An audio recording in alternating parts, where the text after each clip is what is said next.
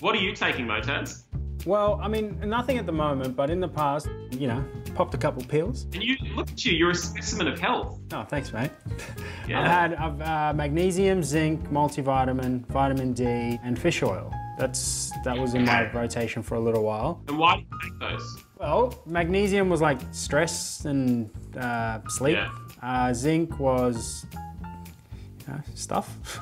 uh, fish oil uh, was for uh, you know heart health and joints and all that sort of stuff. And how Uh, much vitamin D. that would have cost you a week? Oh, a lot. Whenever I get a cold and flu, the first thing I'll do is I'll still go and pop vitamin C tablets and echinacea. Besides giving me weird breath, is it And costing actu- a lot of money. and costing a lot of money, is it actually doing anything? I mean, at best, it's going to reduce your cold symptoms by like half a day. So, bang for buck, it's probably not doing a lot. Most of the, the flus or colds we get in winter are a virus. Someone sneezes on something, you touch that, you put it in your eyes or your, or your mouth, and you catch the cold. And by the time you get symptoms, you get a runny nose, itchy eyes, sore throat, bit of a cough. You've already had the virus for a few days. It's been living in your body, slowly building up numbers, and then it starts to create symptoms. So by that stage, you've kind of missed the boat.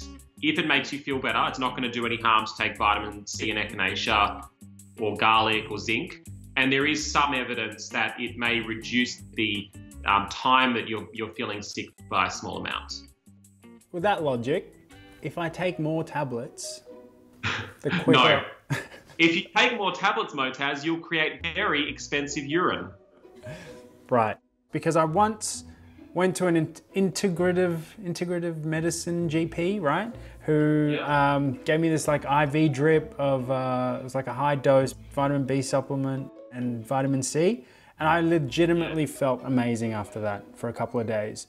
Is that placebo or did that actually did I what did that do to me? Why was I feeling so good? Well, it's hard to say because I don't know why you went there and I don't think you want to share that with the whole nation. But let's also remember that that J- GP not only gave you what was in the liquid, but gave you a big bag of liquid as well. And for most of us, if we had a litre of fluid put into our vein, would feel pretty damn great. So there could have been the benefits of rehydration. It could have been placebo.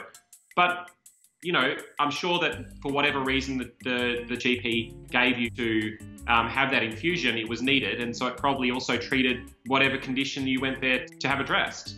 If your doctor is recommending that you take certain vitamins, particularly for pregnant women, young kids, older people, and the middle of winter, there will be times, really important times, when you should be taking vitamin supplements. And um, this might have been one of those times. I mean, I get the same kick out of going to a chemist as I do as this in a, to a stationery store. You know, like I, I like to browse because there's just the claims on some of the. that sentence. It's, it's true. It's like there's so many claims on these packets. You know, you have a better face, better skin, better hair, be a better boyfriend. There's all these like tablets you can get, and um, you do get sucked into that. So Yeah, you do. Absolutely. That's one of the challenges, to be honest, because many of the vitamins and minerals don't have the same levels of regulation. They don't have to adhere to the same kind of scrutiny as some medications. And so, you know, yes, vitamins and minerals might be associated with a whole bunch of different outcomes, but that doesn't mean that they're necessarily going to have that effect on you. Be a bit careful of what uh, of what they promise you. can I overdose on any vitamin supplements?